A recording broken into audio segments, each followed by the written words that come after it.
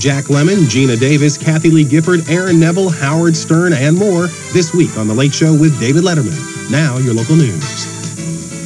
I'm Terrence Jackson. Coming up, a bomb scare tonight at a Kroger in northwest Harris County. The store is evacuated.